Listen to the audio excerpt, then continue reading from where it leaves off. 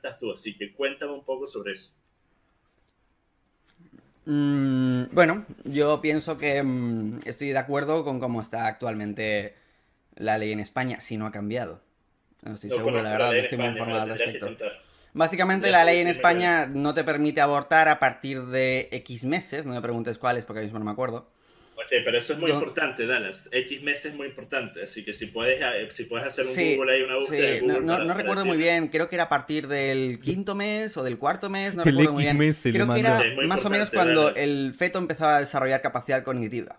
ok, eso, eh, una vez más, tenemos que ver qué significa capacidad cognitiva, porque a la semana 4, eh, a la semana 6, disculpa, ya hay ondas cerebrales que se pueden detectar. Sí, pero hasta la semana 23 o 24 creo que era, no existía un, encefalograma que se pudiera comparar al de un humano. Gracias Pablo, Dani.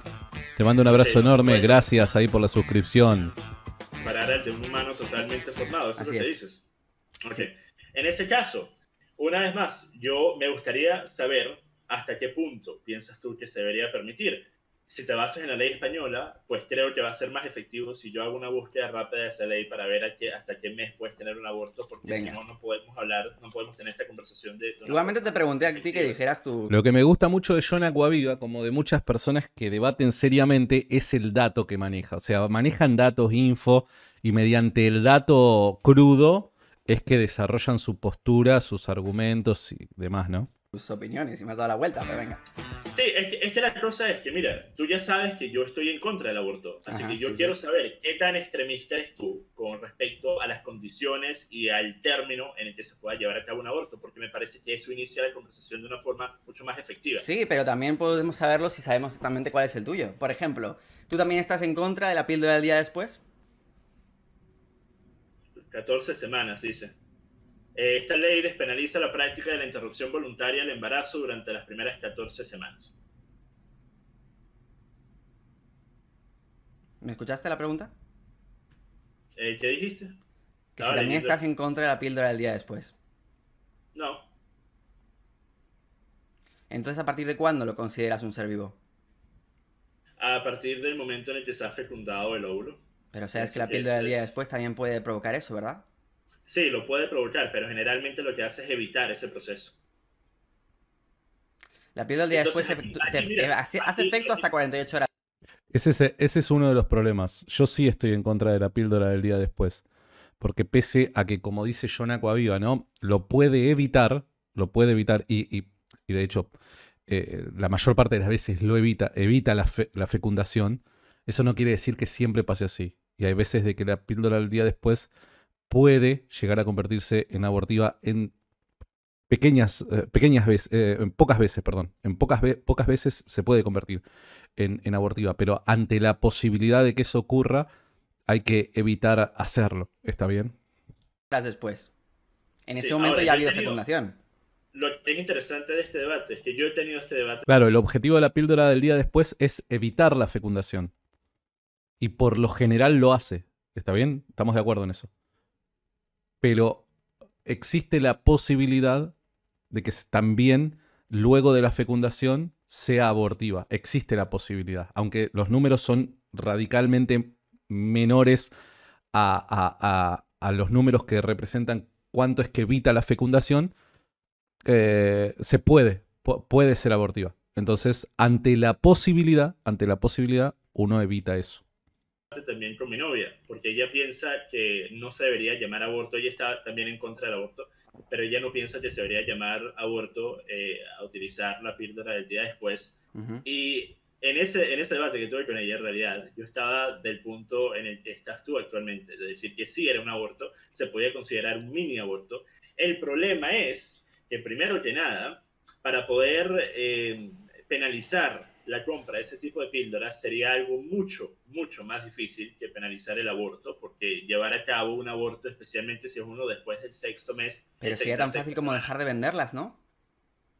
No, porque siempre va a haber un mercado negro, tú sabes perfectamente. Lo mismo para el aborto, entonces es que es muy diferente una cosa con la otra. Una cosa es vender una píldora, que es una píldora diminuta, la otra es tener que ir a un hospital o por lo menos a una clínica o por lo menos a un lugar, un espacio, una oficina en la que se pueda llevar a cabo un procedimiento quirúrgico.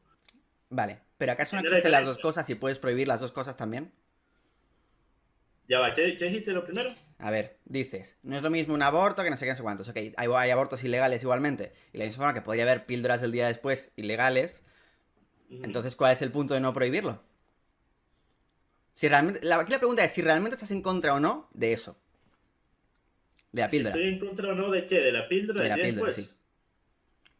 Creo que ahí entramos en un terreno escabroso. Tendría que ver las estadísticas de la cantidad de personas que las utilizan y que tienen efectos negativos o que las utilizan más de una sola vez, porque sabes que generalmente la píldora para el día después solo se puede utilizar de una forma eh, segura, una vez al año.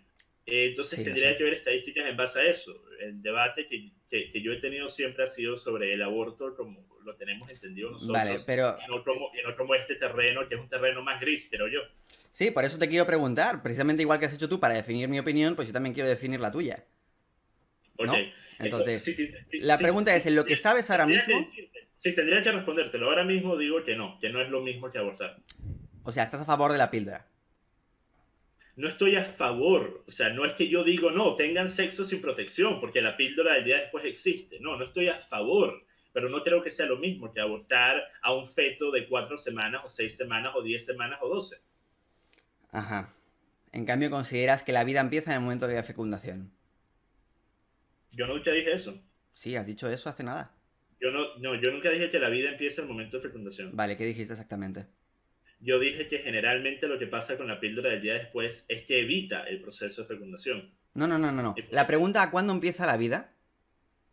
Ok, si quieres una pregunta de cuándo empieza la vida, yo tendría que apelar una vez más a lo que son mis creencias religiosas, pero eso una vez más se sale del debate, como dijo Ben Shapiro. la pregunta. Ben Shapiro, es una persona, ben Shapiro es una persona que ha sido muy claro en esto. No hace falta involucrar el tema de la religión en un tema como el debate. Entonces yo tampoco lo voy a hacer. No te pido que involucres la religión.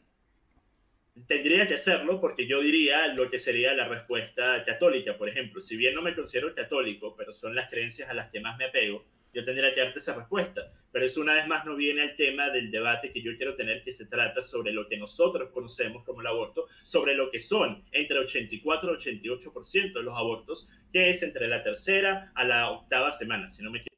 No entendí por qué John Aquaviva ahí eh, dice que tiene que apelar necesariamente sus ideas a sus creencias religiosas. No entendí por qué. Entonces pienso que es mucho más efectivo hablar de esa enorme cantidad de abortos que ocurren dentro de ese plazo de tiempo en lugar de irnos a un terreno tan gris como es este en el que estamos. Eh, igualmente estoy casi seguro de que has dicho que la vida empieza en el momento de la fecundación. O sea, estoy 99% seguro. ok, si lo dije hablé mal, estaba tratando de A mí también me parece que lo dijo. A favor de Dallas. A mí también me parece, no lo quiero reproducir de vuelta al video, pero a mí también me parece que dijo eso. Como que la vida comenzaba en la fecundación. la vaina de España así que Vale.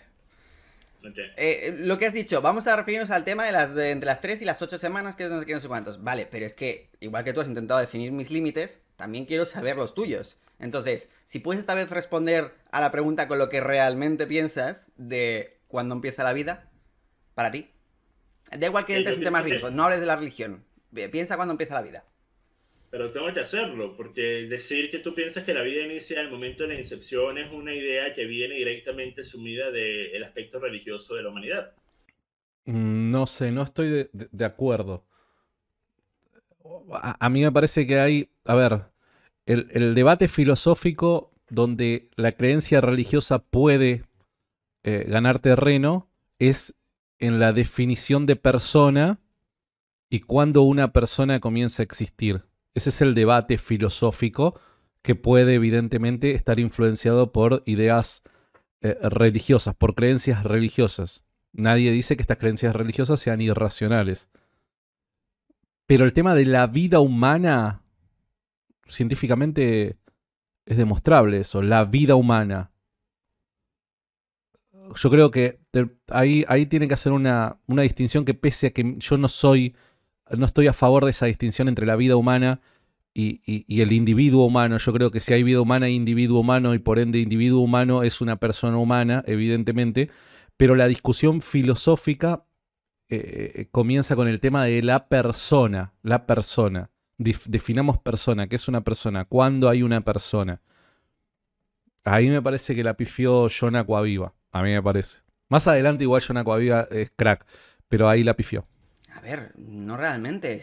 A ver, un, espermatozoide está vivo. ejemplo, Dallas, dame un ejemplo de, ese argumento eh, que se haya sido formulado antes de, la religión existir. Dame un solo ejemplo de eso. Repite la pregunta. Dame, un solo ejemplo de ese argumento del punto del inicio de la vida siendo el momento de la incepción, habiéndose utilizado antes de la religión. Si me puedes dar un ejemplo de eso. Bueno, no, pero no necesita ahí Dallas dar ese ejemplo. No necesita, para mí no, no, no necesita, no necesita. ¿Antes de cuál de todas las religiones? Antes de que existiera la, religión, sin importar si era... No, no, la religión como eh, la seguir a una deidad y creer que existe algo sobrenatural que determina cómo va a quedar tu vida y qué va a pasar en el mundo. Esto se pudiera inclusive llamar antes las religiones abrahámicas a lo que estaban haciendo los indígenas que estaban eh, eh, idolatrando. De hecho, los cristianos nunca estuvieron de acuerdo en la historia. Eh, en, la historia los cristianos no estuvieron de acuerdo con respecto a cuándo es que el, el, ser concebido en el vientre materno recibía el alma por parte de Dios. Los cristianos no estuvieron de acuerdo con respecto a eso. ¿Está bien? Entonces, eh, no, no, me parece apropiado el, el, planteo que está haciendo John Aquaviva acá. No, no me parece, no me parece. No, no me parece. Creo que eso es algo que lo puede determinar, el comienzo de la vida humana lo puede determinar hoy por hoy la ciencia. Otra cosa es discutir el tema de persona, y que vuelvo a repetir, yo creo que si hay vida humana, hay individuo humano, si hay individuo humano, evidentemente hay persona humana, pero entiendo que la discusión filosófica pasa por el concepto de persona. Al sol o al dios de la lluvia, el dios del aire, el dios de la tierra, me refiero a religión en general. Esa idea viene directamente sumida de un aspecto religioso. A ver, o sea, me estás diciendo que la religión es lo que le da el concepto a la vida. ¿Eso es lo que estás diciendo? No, Independientemente de cuál sea. La, religión y particularmente la cristiana lo que, lo que hace es, es, es afirmar que la vida humana, desde que el ser humano es, tiene valor, tiene un valor intrínseco, infinito.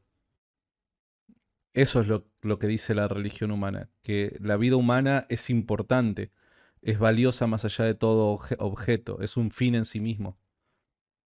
No. A ver, Estoy diciendo que el argumento de decir que tú crees que la vida inicia al momento de la incepción viene directamente de una creencia religiosa.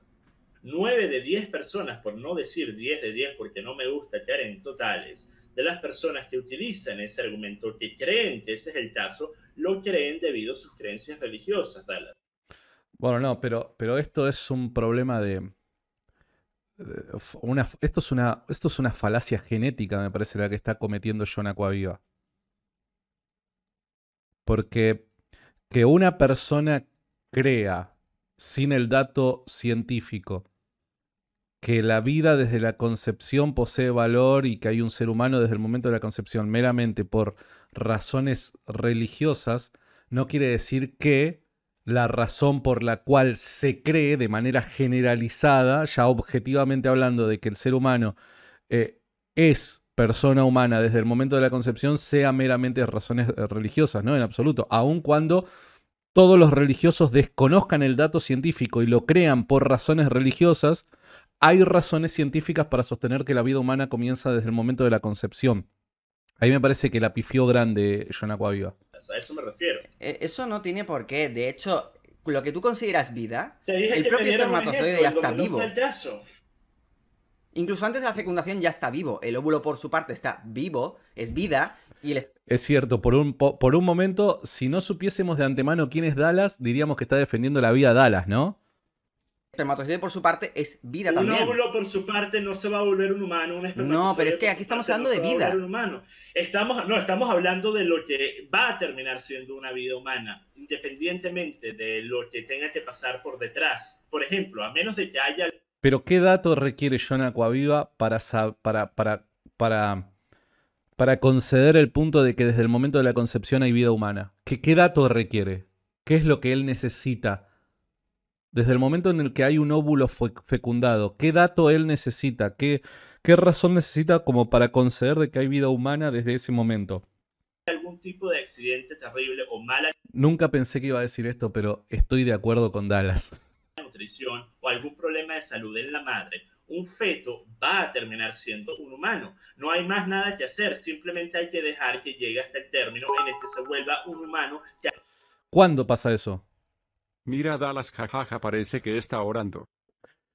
¿Cuándo, cuándo, cuándo el, el óvulo fecundado se convierte en ser humano? ¿Cuándo pasa eso? ¿En qué momento el óvulo fecundado se convierte en un ser humano? Si no es en el momento propio de la fecundación, ¿en qué momento del proceso de desarrollo del cuerpo es que ese feto va a convertirse en ser humano? ¿Cuándo? hasta tú lo considerarías un humano y no simplemente un parásito como le llamas. No puedes decir que es lo mismo un espermatozoide, porque un espermatozoide, si tú lo dejas solo, no se va a volver un humano. Pero tiene vida. un óvulo no se va a volver un humano. Pero tiene vida. Aunque no se vaya a volver humano por sí mismo. Todo tiene vida. Todo sí, tiene, exactamente. Entonces tú me preguntas, ¿cómo sabes, ¿cómo sabes que algo tiene vida, si no es por el argumento religioso? Coño, el argumento científico mismo. El espermatozoide tiene vida. No hace falta poner nada religioso por en medio. Pero igualmente, responde con la religión. Respóndeme cuándo tú consideras que eso no es abortable. ¿Cuándo no es abortable qué? Me cambiaste la pregunta. Primero me hiciste la... Está fallando John Acuavio. Está fallando John Acuavio pregunta de cuándo yo pienso que inicia la vida. Y yo te dije, y te dije que viene, sí. la vida te dije que viene basado en mis creencias religiosas y te dije que esa creencia, te dije que esa creencia, la creencia de decir que la vida inicia al momento de la incepción, es una creencia que viene sumida en la ideología, en la religión. Vale, ¿y por qué no puedes responder? Eso es lo que dije. ¿Responder qué? Pues eso que te estoy preguntando, que cuando empieza la vida humana. Tengo feedback. ¿Cómo? No sé, no sé si el feedback es de mi lado o del tuyo. Da igual, vamos a centrarnos en la discusión. Yo no estoy leyendo el chat, no estoy leyendo nada, solo estoy discutiendo contigo. Ok. Solo es una pregunta muy simple. ¿Cuál era la pregunta? ¿Cuál era la pregunta? la pregunta es, ¿cuándo eso te parece que no es justo abortarlo?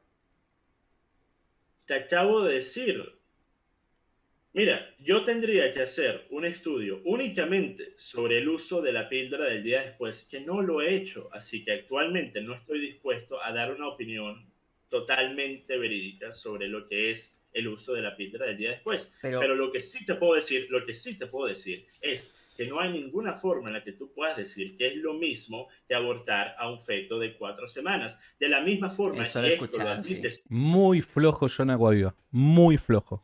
y esto lo admites tú, Dallas. No es lo mismo abortar a un feto de cuatro semanas que abortar a un feto de ocho meses, a un bebé de ocho meses. No es lo mismo. No, no lo es. ¿Por qué no lo es? ¿Por qué no es lo mismo? ¿Cuál es la razón por la que no es lo mismo? A ver. Pero es que no me estás respondiendo a la pregunta. Es cierto lo que dice Dallas. Eh, John Acuaviva no le está respondiendo a la pregunta, lo está esquivando. Dallas va ganando hasta el momento. La pregunta es, ¿cuándo empieza lo que es la vida humana para ti? Ya, ya. Dallas, te lo he dicho diez veces. Al momento de la incepción, Dallas. No dijo eso. Santi, increíblemente y aunque no lo creas el Dallas que estás viendo no es el mismo de ahora, aunque no comparto sus ideas en ese momento de su vida, por lo menos el Dallas del pasado usaba la cabeza. Ahora él no lo hace, créeme. Puede ser, puede ser que haya, puede ser que haya cambiado, pero eh, nada, este Dallas parece más racional.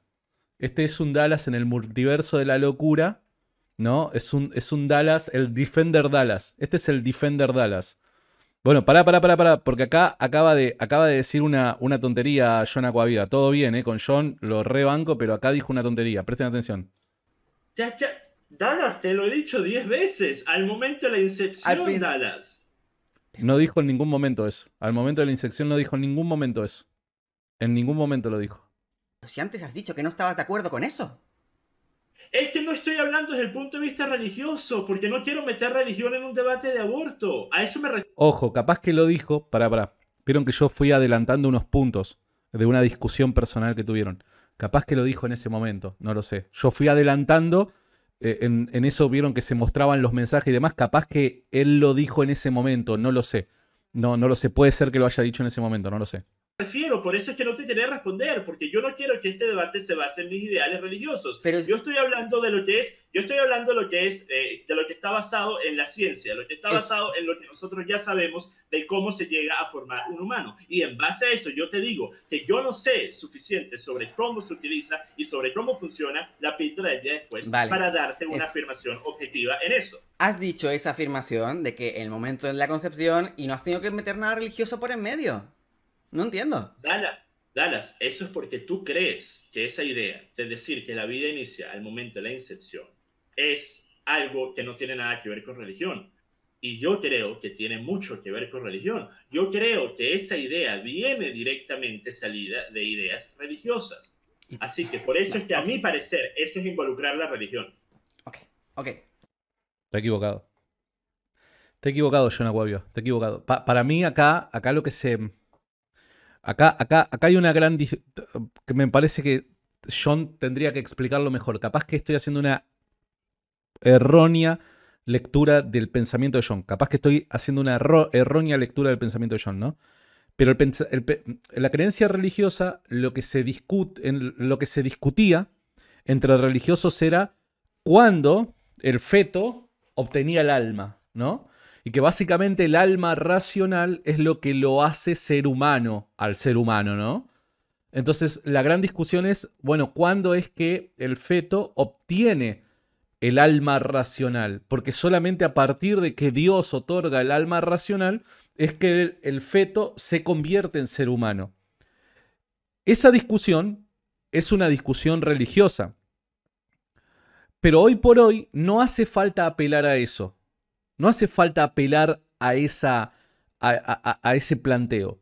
Hoy por hoy, ya sea por medio de la ciencia o la filosofía, o se puede plantear un argumento que relacione el dato científico con eh, lo, lo, filosófico, de tal forma que si hay vida humana en el momento de la concepción, la pregunta es, ¿por qué esta vida humana no debe ser considerada como persona humana? En definitiva, la persona humana era, en términos religiosos, o al menos en el tiempo en el que se debatía, eh, la persona humana recién comenzaba a ser desde el momento en el que Dios otorgaba el alma racional.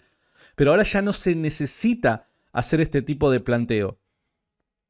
Porque la postura religiosa eh, eh, está de acuerdo con el dato científico y con el planteo filosófico, y es que si hay vida humana, hay individuo humano. Si hay individuo humano, hay persona humana.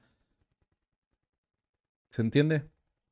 No, se, no hace falta apelar al, al, planteo religioso. Ahí me parece que la pifió mal. No sé, capaz que estoy haciendo una mala lectura del pensamiento de John. Capaz. Capaz que hay alguna otra razón que yo no la conozco del por qué es que plantea lo que plantea o por qué asumió la postura que asume. Pero desde mi humilde punto de vista, me parece que acá la pifió mal. Ok. Básicamente me has confundido, porque primero has dicho la Incepción, luego has dicho que no, que te has confundido porque estás mirando no sé qué España, y luego has dicho que sí. Vamos a pasar a otro tema, entonces. Podemos decir que tú, la vida empieza en el momento de la Incepción. Yo quiero, tener un debate, yo quiero tener un debate que se base únicamente en lo que es actualmente ley y en lo que es actualmente comprobable por la ciencia. Ajá. ¿Ok? Ok. Ok, okay vale. ¿Qué estábamos antes de esto? Que querías debatir lo de, lo de abortar o no a las 3 y 8 semanas, que es la mayoría, de, la mayoría de los abortos. ¿Sabes por qué ocurren la mayoría de veces a este tiempo de semanas? Una de las cosas que debemos recordar es que está mal abortar por el valor de la vida humana. Es, eso, ese, esa postura filosófica es necesaria para empezar al menos el debate y la defensa en contra del aborto. Porque si el ser humano no posee valor y dignidad, el aborto no es algo que esté mal, en absoluto. El aborto está mal porque el ser humano es digno, porque en esa dignidad posee derechos. Entonces, esto del valor de la vida humana es fundamental dejarlo en claro desde el comienzo de cualquier intervención dado que sin ello ya no, no tiene ningún tipo de sentido debatir, es la opinión tuya contra la mía y ya está, y nosotros nos convertimos en simplemente eh, seres animados, un conjunto de células que, bueno, nada, se intentan relacionar ya ni siquiera mediante un libro albedrío, etcétera, etcétera, etcétera, ¿no? Entonces, eh, nada, la clave es eso, ¿no? El valor de la vida humana. Dímelo tú, ¿por qué crees que ocurre? Bien, ocurre más básicamente porque cuando... El tema del debate, como dice Norberto, el tema del debate es un debate de términos morales que utiliza el dato científico para justificar su postura. Pero el, tema del debate, el debate del aborto es un debate moral. Aquellos que por lo general quieren correr del campo filosófico el debate es porque saben que eh, en ese campo pierden. El debate del aborto es un debate moral, que, es, que utiliza el dato científico para justificar su postura moral. ¿Se entiende? Cuando hay un fallo, de lo que sea, muchas veces no se nota. Ocurre veces que puede fallar la píldora anticonceptiva, ocurre veces que puede fallar por algún motivo en algún momento de las relaciones sexuales, puede fallar algo en concreto, sea problema del método anticonceptivo, sea problema de las dos personas. 90% efectivos, claro, claro. ¿Cómo, cómo? Que los preservativos solo son 90% de efectivos. ¿A ti nunca se te ha roto un condón? Sí, se me ha roto, por eso te estoy dando la razón. Los preservativos son solo efectivos en el 90%. Vale, vale, no entendía muy bien lo que estabas diciendo. Ok, ok. Entonces, básicamente el embarazo, muchas veces ni siquiera saben que están embarazadas. ¿Y por qué las tres semanas? Pues básicamente por el ciclo menstrual. Termina el ciclo menstrual, no viene la regla. Uy, ¿qué está pasando? Hay chicas a las que no les viene la regla durante mucho tiempo. Entonces pueden pasar un mes y pasan ese ciclo menstrual hasta que el otro ya dicen, aquí pasa algo. Por eso ocurre la mayoría de abortos durante esas semanas. Ya te lo ¿Te das cuenta de lo que existe aquí? ¿Te das cuenta de lo que existe? Dime. Tú aplicaste lo que es el hecho de que se hagan esos abortos en ese plazo de tiempo y le diste y le diste un inicio, le diste una razón causal que tú no puedes determinar, pero que yo sí tengo evidencia para contrarrestar. Tú dijiste que muchos de esos abortos, y aquí te pregunto, ¿qué porcentaje crees tú de las personas que terminan abortando lo hacen porque su preservativo falló, Dallas? No tengo ni idea, no me atrevo a decir cifras. Porque inventar porcentajes es un poco ridículo. Ok, yo no tengo que inventar los porcentajes porque se han hecho estadísticas, se han hecho estudios de esto en Estados Unidos. Según Planned Parenthood, que sacó estas estadísticas en el 2015, más del 90%, más del 90% de las mujeres que abortaron en el 2014 lo hicieron, según ellas mismas, según su razón, en Planned Parenthood. Planned Parenthood es un instituto izquierdista, ¿ok? Sí, Planned Parenthood, sí. Sí según, sus, eh, eh, eh, según su explicación de por qué lo hicieron, fue debido a que no les era conveniente tener el bebé. No, que su, no que su preservativo falló, tampoco que fue violación o incesto, que eso es menos del 1%. Ah, fue debido a que no les era conveniente, fue debido a que no tenían... Acá se empieza a dar vuelta al debate, te das cuenta que acá ahora sí se empieza a dar vuelta al debate. dinero, a que no tenían cómo apoyarlo, a que eran muy jóvenes, a que iban a tener que a la universidad, a cualquier razón que tenga que ver con la vida y con el estatus socioeconómico de esa mujer. Pero es que me estás hablando de dos cosas. Aquí uno es el motivo por qué se quedó embarazada y el motivo por qué están abortando. No, no, no, es que tú afirmaste que se debía, en gran parte, o por lo menos así hiciste parecer, a que los preservativos no funcionaron. No, no, no, he dicho en general. Bueno, pero también acá uno podría decir que bueno, pero no hay, no hay estadística. Iba a mandarle fruta. Iba a mandarle fruta. Porque tranquilamente ese, ese, ese 90% o más de mujeres que acudían a Planned Parenthood para realizarse un aborto, eh, puede ser de que no estaban preparadas para, para ser madres, por así decirlo, ¿no? El típico relato. Pero se encontraron con la sorpresa de que quedaron embarazadas porque se rompió el preservativo. ¿No? Pero bueno, nada, tenemos la estadística, el número de eso, tenemos forma de corroborar que esta, que esta hipótesis es correcta y no, entonces mandarle fruta, sí, lo confieso. En general, he dicho en general que muchas cosas pueden fallar y que cuando te das cuenta que estás embarazada no es en el acto, no es al momento. hay veces que sí, pero hay veces que no. Ok, Dallas. Claro, ¿cómo te vas a dar cuenta que te embarazaste en el momento? bueno, depende. Hay veces que, por ejemplo, si se te ha roto el condón y te das cuenta después, sabes que te embarazaste en el momento, así que vas a por la pila del día después. Pero si no... No, eso, eso tampoco necesariamente significa que vas a quedar embarazada. Me estás recordando la película de Sam Mother. Pero al menos... No sé si la viste. Al menos tomas precauciones. está embarazada. Ok, ok, mira. Sí, claro. Si eres una persona responsable, yo esperaría que tomas las precauciones. Pero te das cuenta de que es mucho más efectivo hablar sobre lo que es la gran mayoría de los casos y las razones por las que la gran mayoría de los abortos se llevan a cabo que hablar de lo que es un porcentaje marginal. De la misma forma que a mí me parece que tú no has hecho esto todavía, no sé si lo pretendías hacer, pero no lo has hecho. Eh, me parece algo un poco deshonesto cuando personas que están de acuerdo con el aborto, sin importar las condiciones, sin importar por qué se esté dando ese aborto, están simplemente de acuerdo con el aborto, ponen la muletilla de decir, ¿tú estás de acuerdo con el aborto si la mujer está, eh, fue violada o fue víctima de incesto? Eh, me imagino que no, vaya. No, claro, eh, yo, no estoy de acuerdo con que se obligue a la mujer a tener que llevar a cabo una vida que si bien sigue siendo una vida humana, pero a mi parecer es algo dantesco. Que una mujer sea violada y después la obliguen a dar a luz al hijo del violador. Eso es algo que personalmente... Menos mal, porque hay gente que no está a favor. No, no, claro, hay personas que dicen no, que eh, Jake... Yo, yo no estoy a favor de eso. Jacob Rees-Mogg, acá en Inglaterra, es un conservador que respeto mucho, él dice que él, está, él es una persona que es muy parecida a mí él dice que sus creencias religiosas dictan que él cree que el aborto en cualquier circunstancia está mal y que él jamás va a aceptar que aborto está bien, de ninguna forma, pero que él respeta lo que es la ley. Entonces, de la misma forma, quiero que, podamos tener una conversación como esa.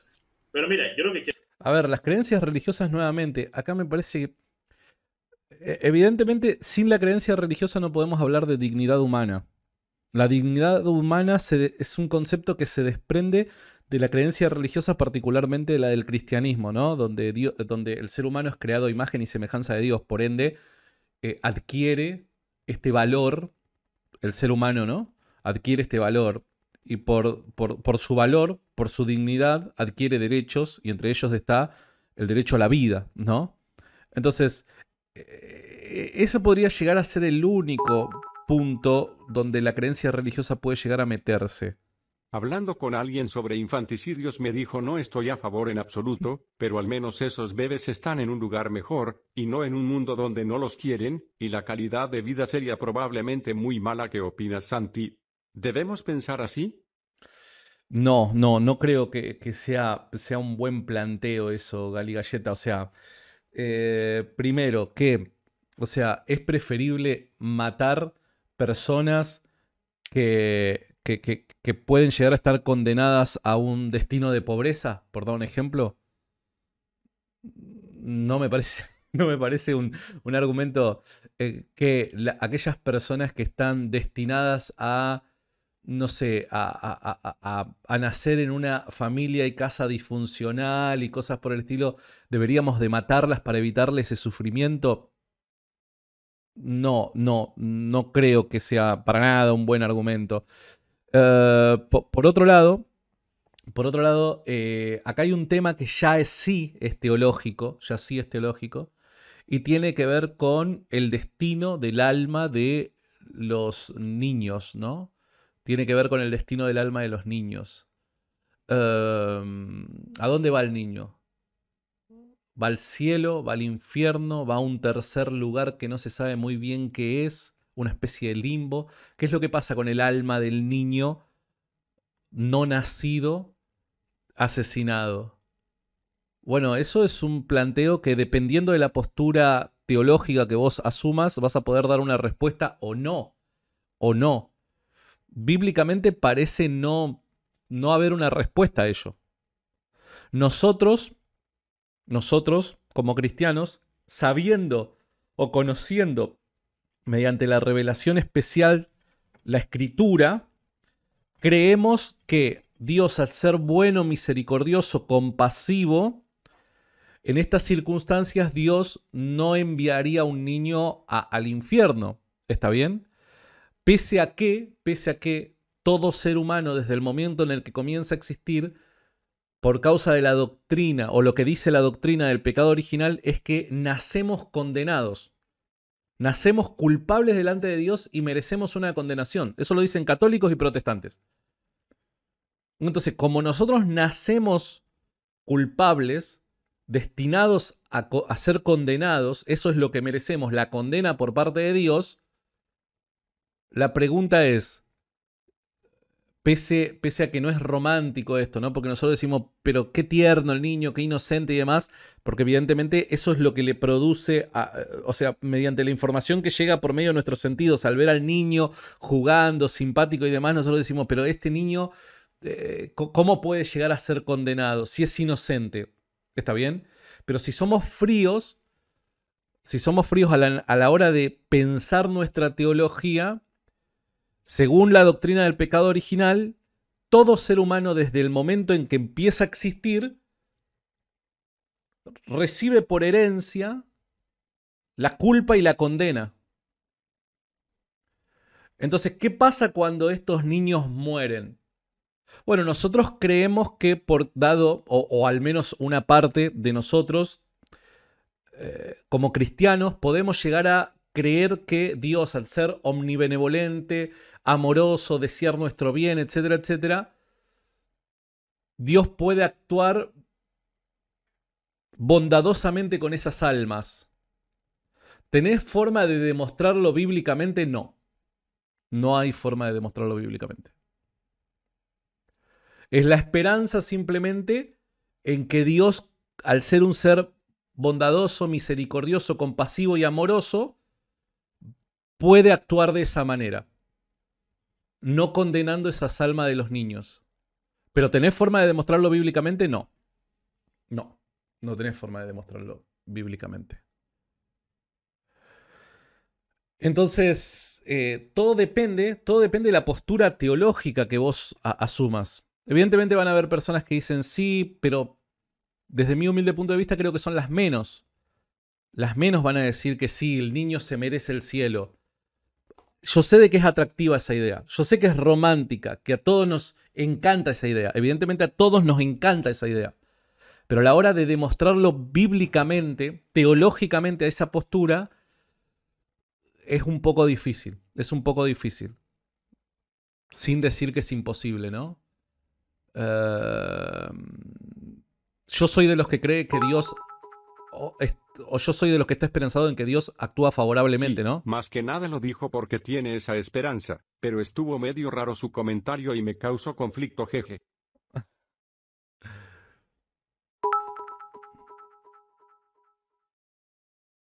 El pastor Miguel Núñez responde esa pregunta. Te paso el link. Dale, pásamelo, pásamelo a ver a ver qué es lo que dice el pastor Miguel Núñez. Me encanta, me encanta, me encanta. Entonces, esto al menos es un problema teológico. ¿Se entiende? Esto al menos es un problema teológico. No sé cómo llegamos a este punto, tengo que ser honesto, no sé cómo llegamos este, hasta este punto. Pero vuelvo a repetir, tengo forma de demostrar que esta postura de que Dios va a actuar bondadosamente con las almas de los niños no nacidos es correcta. ¿Tengo forma de demostrarlo? No, no tengo forma de demostrarlo. ¿Crees en eso? Sí, tengo la esperanza de que así es. Dice Tommy, mm, la, condena, la condenación viene... La condenación viene del pecado cuando hay conciencia. No, en absoluto. La Biblia no enseña eso. La Biblia enseña un pecado original. La Biblia enseña un pecado original. ¿Qué hay de Mateo las 19 y 14? Vamos, vamos a ese texto. Me, gustó por donde, por donde encaramos esto. Me gustó. Vamos a leer el texto que nos manda Jonah.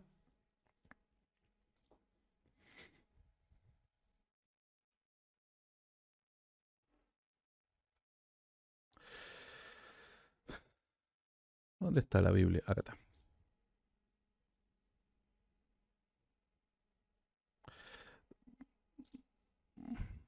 Vamos a transicionar. Dice Mateo capítulo 19, versículo 14. Pero Jesús dijo, dejad a los niños venir a mí y no se lo impidáis, porque de los tales es el reino de los cielos. Si yo no me equivoco, déjenme chequear esto.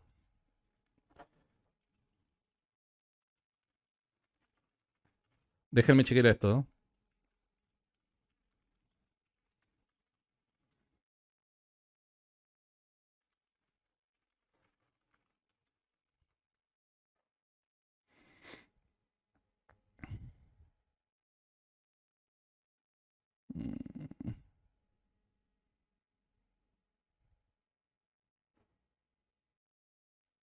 Bueno, perdí el texto. Estaba buscando un texto. Estaba buscando un texto.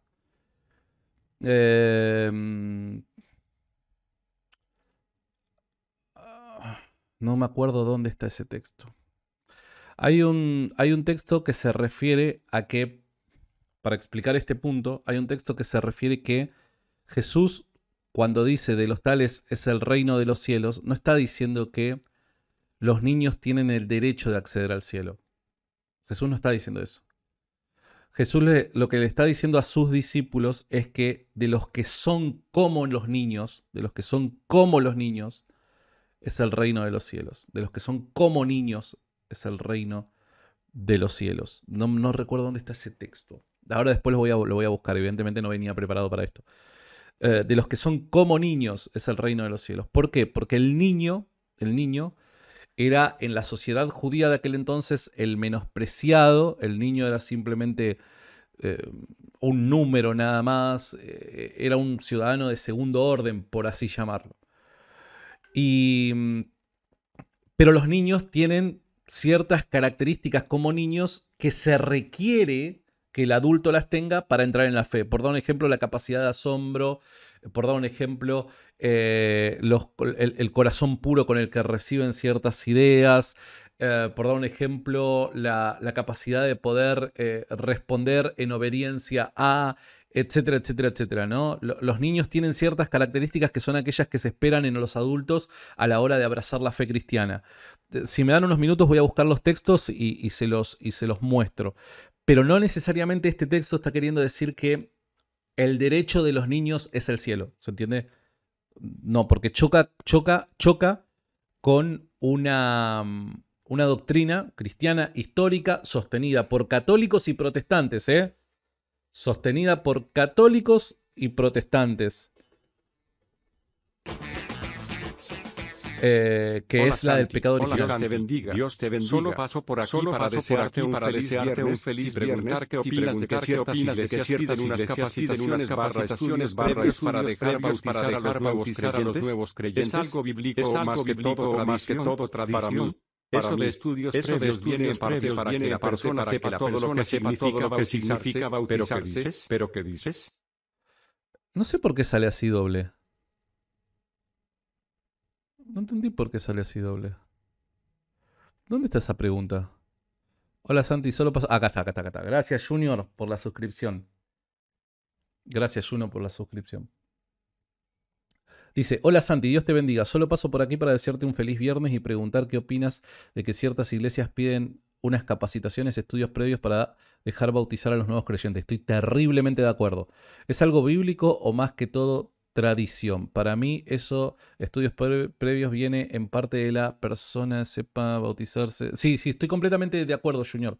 Estoy completamente de acuerdo. O sea, eh, históricamente los cristianos siempre actuaron de esta manera. No te tenés que recibir en doctor en teología para, para, para ser bautizado, ¿no? Pero sí tenés que pasar por una formación, una capacitación en donde vos te informes, adquieras el conocimiento adecuado para saber de qué se trata la fe cristiana, para luego vos poder entrar en ella, ¿no? Por medio del bautismo. El, bautismo es un rito de iniciación.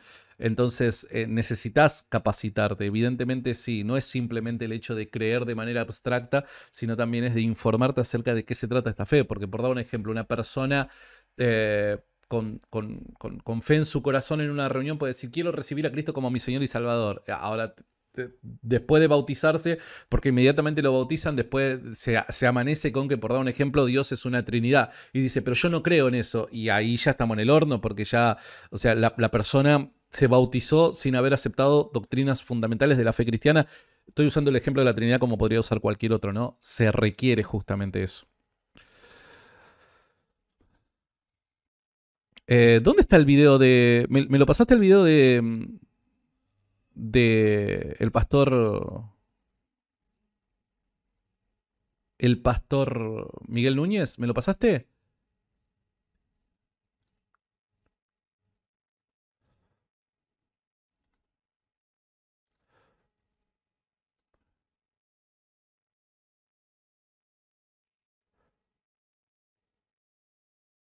Ah, acá está. Acá está el texto. Acá está el texto. De cierto, de cierto os digo que si no os volvéis y os hacéis como niños, no entraréis en el reino de los cielos. ¿Se entiende? O sea, el niño es utilizado como un ejemplo simplemente, no porque el niño tenga el derecho de, entrar al reino de los cielos. No es que el niño tiene derecho de entrar en el reino de los cielos, sino simplemente el niño, con su manera de actuar y de vivir, viene a representar una especie de ejemplo a seguir para la actitud que deben de tener los cristianos delante de Dios, ¿no? Eh, es eso a lo que se refiere Jesús. Porque en la historia cristiana no se ha considerado, o sea, siempre se ha sostenido eh, la doctrina del pecado original, ¿no? Y cuando se habla de pecado original, y reitero, porque pecado original a algunos cristianos evangélicos les puede sonar como algo muy católico romano, ¿no? Eh, pero no, los protestantes también lo sostienen. Los protestantes también sostienen el pecado original hay partes del protestantismo, de, ciertas comunidades evangélicas que no sostienen esto. Eh, y que, bueno, ahí es en donde se abre el debate, ¿no? Entre al menos evangélicos. Pero, o sea, la gran mayoría de cristianos sostiene esto, lo sostienen los ortodoxos, lo sostienen los católicos romanos, lo sostienen eh, muchos de los protestantes, los reformados en sí, lo sostienen. Esto parece ser claramente una doctrina bíblica, ¿no? ¿Me mandaste el video de Miguel Núñez? No, no lo vi, lo, lo, lo, perdí. Lo perdí.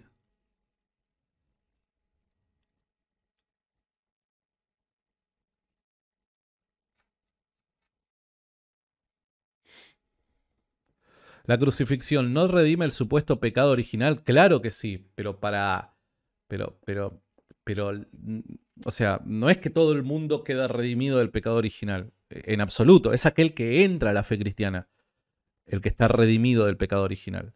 A ver, Gali Galleta, ¿qué es lo que... A, ver. ¿Qué pasa con los niños abordados? Ah, acá está. A ver, me, me interesa este video, no lo vi. A ver qué es lo que dice el pastor Miguel Núñez. A ver.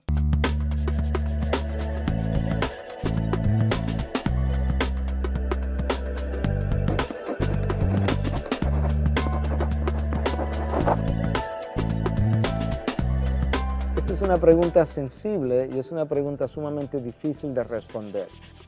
La realidad... ¿Ven? Ya arrancó. Yo no sé qué es lo que va a decir. Nunca vi este video. No sé cuál es la postura de Miguel Núñez. Pero dice, es una pregunta difícil de responder. Al menos lo que quiero señalarte es esto. Hay veces que nosotros damos por sentado esta. No, es un planteo realmente difícil. Es difícil de responder. Vos podés tener tu postura. Eh, evidentemente uno puede justificar su postura pero aquel que realmente haya reflexionado sobre, sobre este tema va a decir lo que dice el pastor Miguel Núñez. Es una pregunta difícil de responder. Es que la mayoría de los teólogos entienden que los niños que son abortados o niños que mueren a una edad muy joven, que ellos van al cielo porque murieron antes de alcanzar la edad de responsabilidad personal. Yo no tengo esa opinión. Respeto la opinión de algunos de esos teólogos a quienes admiro, pero yo creo que la palabra es clara para mí en Efesios 1, que la elección de una persona a salvación ocurre desde antes de la fundación del mundo. Ok, bueno, acá Miguel Núñez, la justificación que va a tener para, para sostener su postura es el calvinismo, ¿no? O sea, la predestinación, ¿no? Eh, evidentemente hay una predestinación la forma de explicar dicha predestinación es donde, se donde difieren ¿no? Eh, varias corrientes cristianas. Hay una predestinación, hay una predestinación. Lo sostienen la, mayor parte de las corrientes cristianas, sumado los católicos romanos, los ortodoxos, los protestantes y demás. Hay una predestinación. El tema es, bueno, darle explicación a esa, a esa, a esa predestinación. Eh, y, y, ahondar un poquito más en el tema, ¿no? Ahí es en donde empiezan a diferenciarse, ¿no? Pero bueno, a mí me parece que el punto clave es reconocer de que es un tema difícil de abordar este. Y si ocurre desde antes de la fundación del mundo, la salvación o no de esa persona no tiene nada que ver con la edad a la que esa persona muere. Bueno, pero si se fijan, más allá de que la postura que él está sosteniendo es la postura calvinista, más allá de eso, más allá de eso, eh, él dice, bueno, entonces lo que está diciendo es que hay niños que pueden no ser salvos.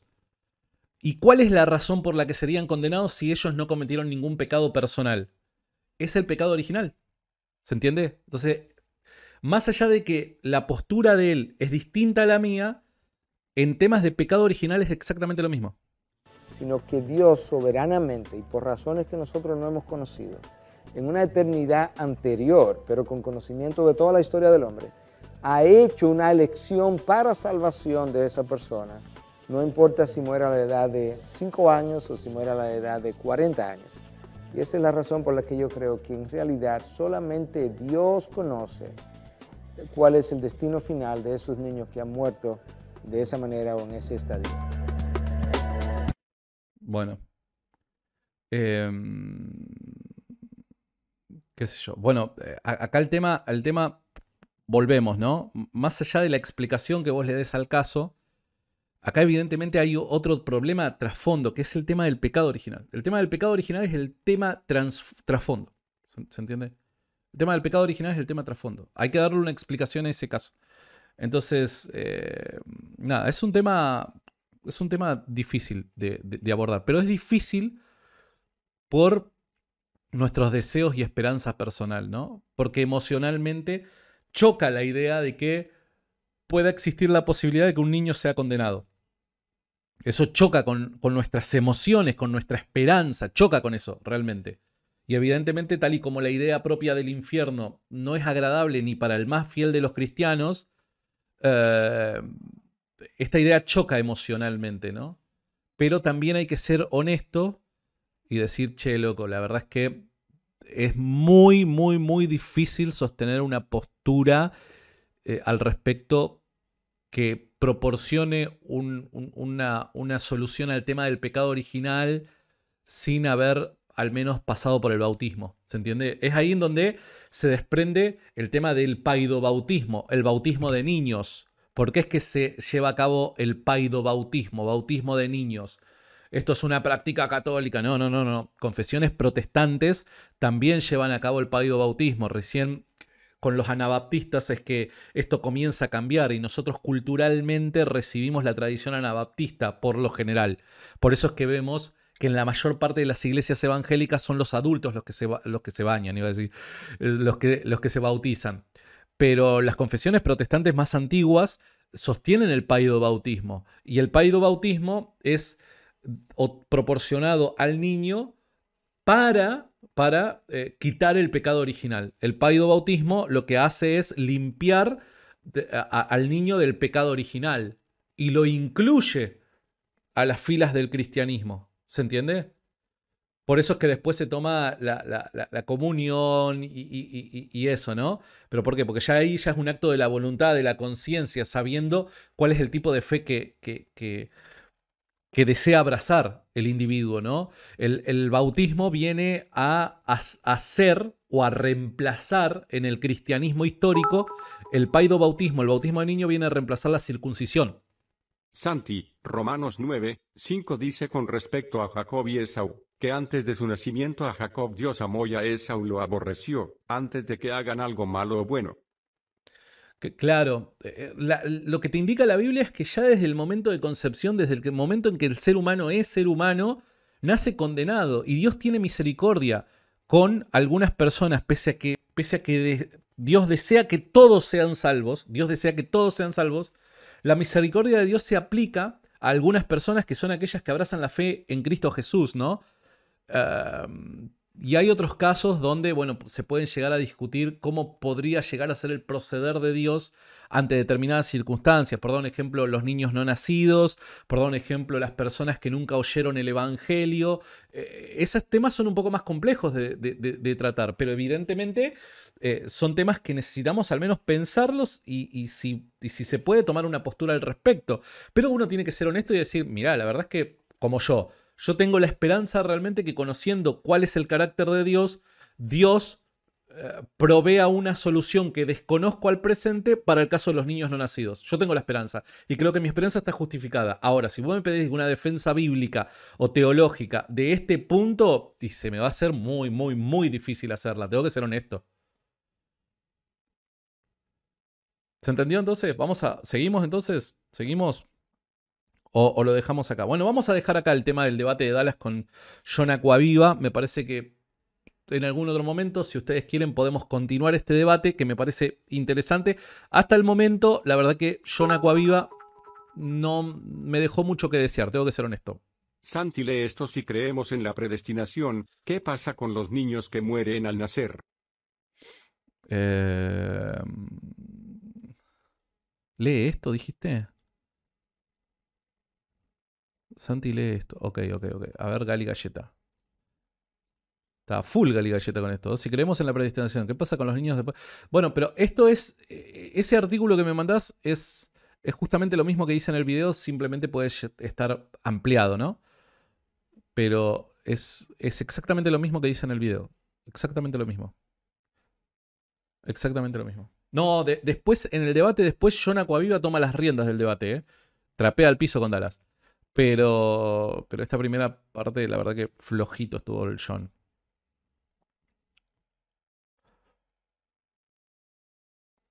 Bueno, recuerden una cosa, muchachos, ¿eh? Recuerden que en, en minutos, no, en minutos no, a las 2 de la tarde, son las 12 y 20 del mediodía. 2 de la tarde, horario Argentina. Presten atención el link que estoy posteando. 2 de la tarde, horario Argentina, se estrena el nuevo video de la serie Argumentos en favor de la existencia de Dios. En esta oportunidad va a ser el argumento de la aplicabilidad de las matemáticas. Aplicabilidad de las matemáticas. Te voy a, te voy a mostrar ahí un, mini teaser. Fíjate, fíjate que la verdad que el el editor se zarpó. En el año 2021 se realizó un descubrimiento que había sido predicho por Einstein hace más de 100 años. Básicamente Einstein, a través de sus ecuaciones matemáticas, predijo que cuando se pudiese observar... Hasta ahí nada más, hasta ahí nada más. Soy todo amor, pero también es justo, es un poco complicado solo aferrarse a su misericordia y no a su justicia, también es omnisciente entonces bueno. No quiero seguir el tema, pero bueno, con esto termino. Es, es cierto, es cierto. Estoy completamente de acuerdo con ese comentario.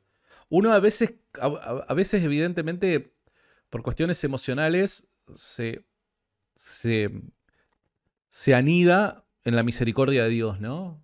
Y desea que Dios actúe de esa manera. Y es una cuestión quizás de esperanza, simplemente, de deseo personal. Pero evidentemente, repito, por causa de ello, de, la justicia de Dios, de su carácter justo, se necesita... Ya pude explicarme el bien objetivo. Ya pude explicarme el bien objetivo. No entendí, Jader, no entendí a qué te referís. O sea, eh, ¿seguís siendo en términos morales subjetivo o ahora considerás de que la moral es objetiva? ¿A qué te referís, Jader?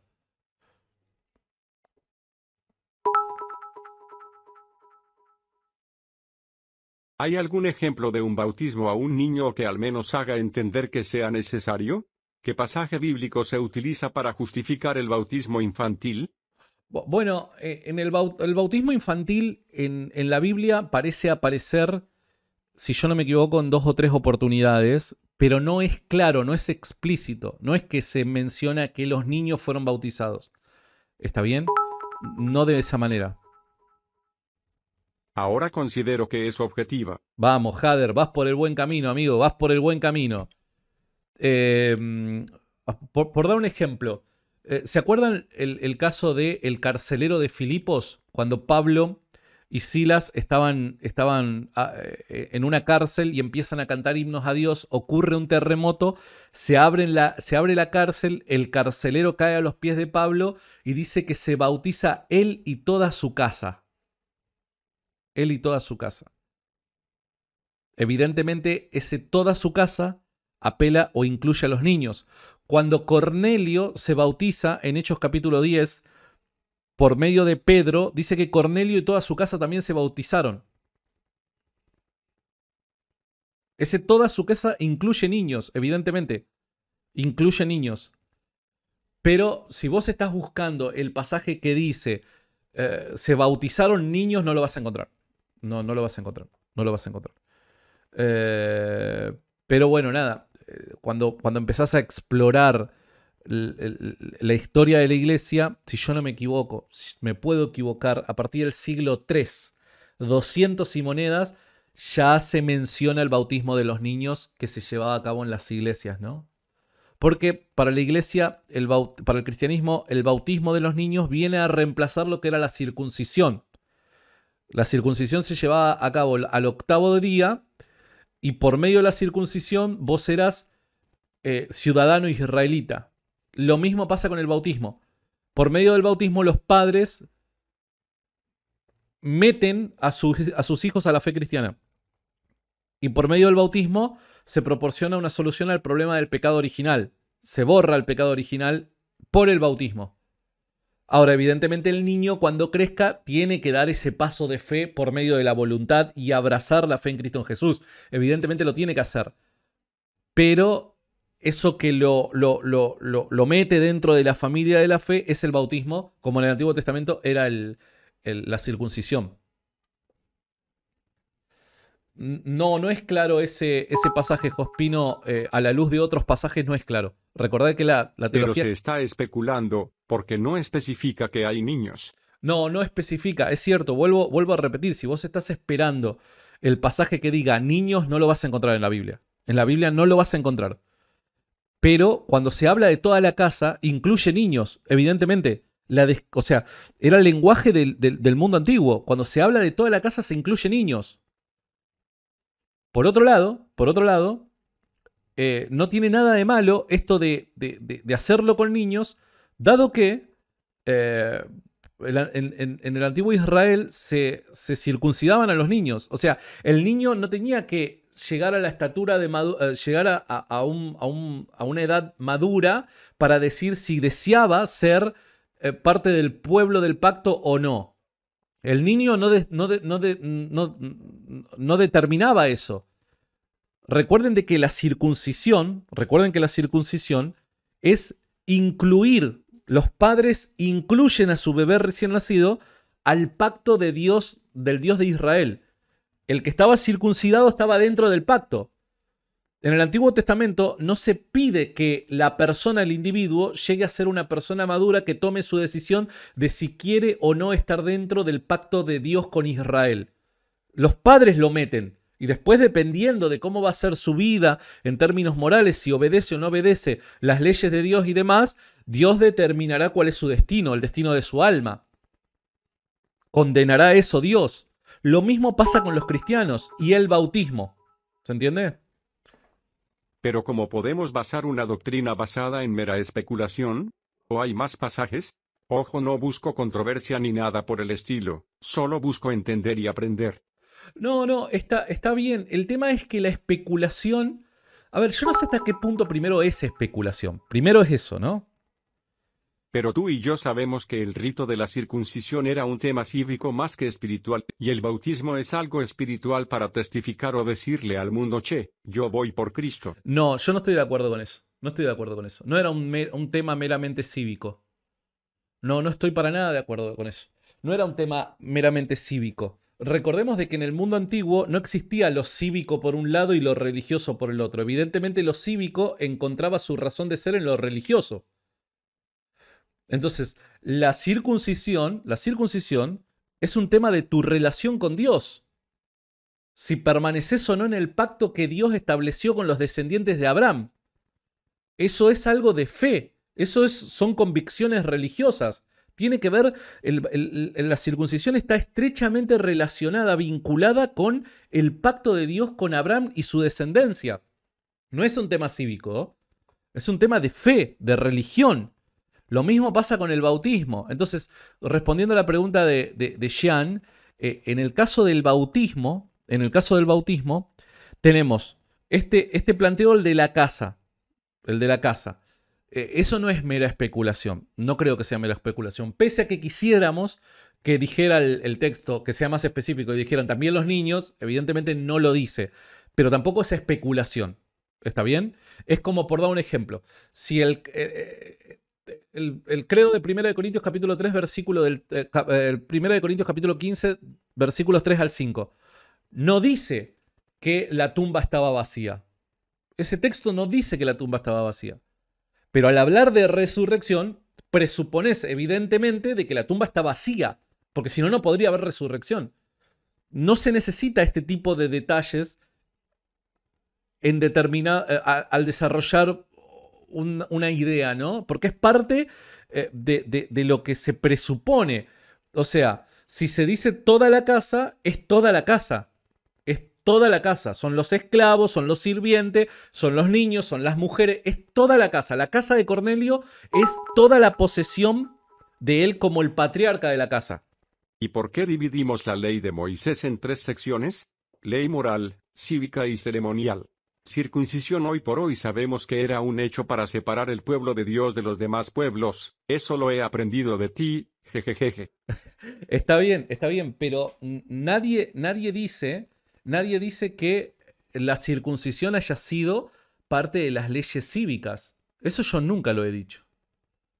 Eso nunca lo he dicho. Hay que separar, evidentemente, lo moral, lo, lo, lo, litúrgico, lo moral, lo litúrgico y lo, cívico o, aquellos, aquellas leyes que ordenaban la vida social. Evidentemente, en eso estoy completamente de acuerdo. Pero yo jamás he dicho que la circuncisión era meramente cívico. Yo nunca lo dije a eso. Nunca lo dije a eso. La circuncisión era algo que eh, era, una, era una actividad religiosa. La circuncisión era una actividad religiosa. Eh, eso no, no hay ninguna duda, no hay ninguna duda. ¿Y dónde la ubicas? En lo litúrgico.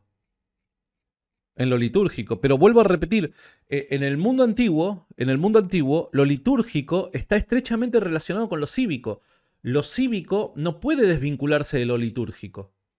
No se puede. Eso es una mirada del siglo XXI occidental, donde Estado e Iglesia son asuntos separados, ¿no? Iglesia y Estado asuntos separados, ¿no? En el mundo antiguo eso no pasaba. En el mundo antiguo era todo parte de un, de un, mismo combo. Entonces, evidentemente, el acto litúrgico va a tener sus consecuencias cívicas. Evidentemente las va a tener. Pero estamos cayendo en anacronismos, ¿no? Bueno, pasamos de tema. ¿Cambiamos de tema? Es un tema bastante lindo para discutir, ¿eh? Un tema bastante lindo para discutir. Bueno, vamos a pasar de tema. Vamos a cambiar de tema. Che, me estoy haciendo pis. Tengo que ir al baño, me estoy haciendo pis. Entonces, lo que Dios decida con respecto a los niños que mueren en la infancia, es una decisión buena, santa y justa. Y a eso debemos aferrarnos, ¿no? Confiar plenamente en Él. Gali Galleta mejor no lo podría haber dicho. No lo podría haber dicho mejor, totalmente de acuerdo. Jajajaja, ¿estás sudando? No te he visto así con un ateo, jejejeje, te amo hermano. No, es que es un tema complicado, es un tema complicado, lo dije desde el principio, es un tema complicado eh, que, es difícil de defender una, una, postura. Hay un, hay un debate bastante interesante en el canal de Jonathan Ramos, que yo fui moderador y que debatieron Néstor con Jonathan debatieron el tema del bautismo, ¿no? Si el credo bautismo o el paido bautismo es el bautismo bíblico, ¿no? Es un debate muy interesante, les recomiendo que lo puedan, que lo puedan ver. Eh, nada, mírenlo.